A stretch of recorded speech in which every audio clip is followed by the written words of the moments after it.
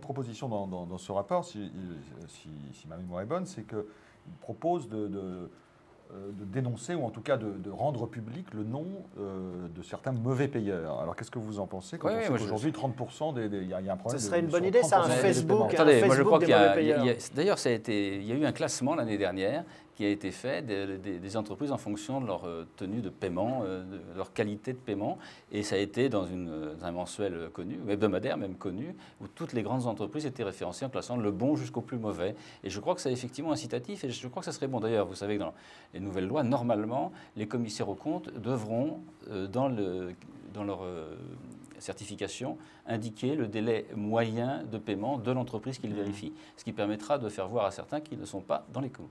Oui, mais ça, c'est tous les ans. Non, mais ça pourrait être aussi une photo, c'est-à-dire c'est une photo, c'est tous les ans, mais aussi un film, puisque les entreprises d'une taille un peu plus importante, ça sera tous les trois mois et peut-être à petit à petit, sans doute plus fréquemment. Euh, Miami, euh, Cuba, une question assez longue. Hein. Bonjour Monsieur Roubaud, à quand une prise de conscience nationale afin de motiver et permettre aux PME, PMI d'embaucher?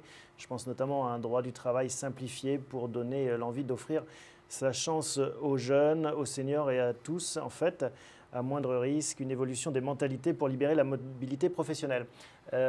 Ça, c'est vraiment euh, un de vos euh, combats, justement? Oui, je, crois qu'on est vraiment dans ce moment, si vous voulez, dans une situation totalement exceptionnelle. Et la situation exceptionnelle, je l'ai dit au président de la République, je l'ai dit au Premier ministre, il faut mettre des moyens exceptionnels.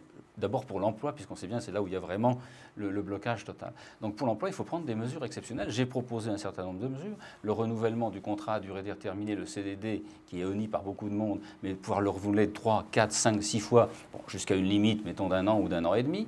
Après, ça viendrait un contrat à durée indéterminée, mais parce que je, je connais des chefs d'entreprise qui, quand ils ont renouvelé une fois, dire mon carnet de commande me permettrait de le conserver une troisième fois, mais le Code du travail me l'empêche. Donc, je suis obligé de, céder, d'arrêter ce contrat.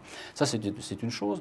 Euh, j'ai eu deux, trois autres problèmes aussi de projet. C'est que les fonds, euh, les, bénéfices de l'entreprise qui seraient réinvestis en fonds propres puissent être avec un impôt de société un IS de deux fois moins, c'est-à-dire de le passer de l'ordre de 18 ou 19 au lieu de 33 un tiers. Tout cela pour que les entreprises aient plus de moyens pour embaucher ou investir. Olivier euh, Anger demande peut-on proposer aux Français, à tous les Français, de travailler une semaine gratuitement pour régler euh, le problème de la dette?